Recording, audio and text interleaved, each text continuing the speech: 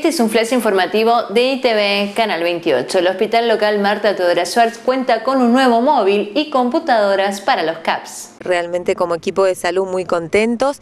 Eh, nuestro móvil anterior era una camioneta del año 2005, entonces sabemos que por ahí con el tiempo se van deteriorando. Nosotros lo usamos mucho, sobre todo para las zonas de las aldeas y los CAPS que están más alejados. Y bueno, ayer tuvimos la grata noticia de que ya nuestro vehículo estaba, lo fuimos a buscar para entregar el, el móvil viejo y traer el nuevo. Así que sumamente contentos, sobre todo porque facilita el traslado del personal, de las promotoras de salud, de los médicos a los distintos lugares donde deben acercarse a atender. Así que bien satisfechos porque el Ministerio escuchó nuestra necesidad, eh, a la brevedad se hizo cargo, al mismo tiempo nos donaron del programa Remediar Más Redes eh, una computadora para cada sala.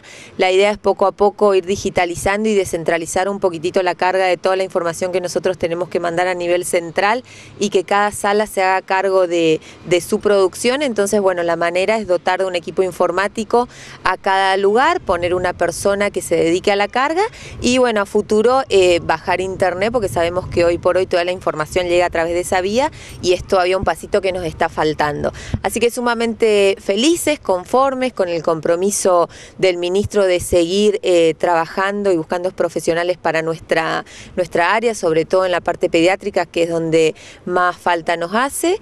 Y, bueno, redoblando el esfuerzo con el equipo, siguiendo eh, en la campaña de vacunación. Más información en nuestro noticiero y TV Noticias de lunes a viernes de 21 a 22 horas.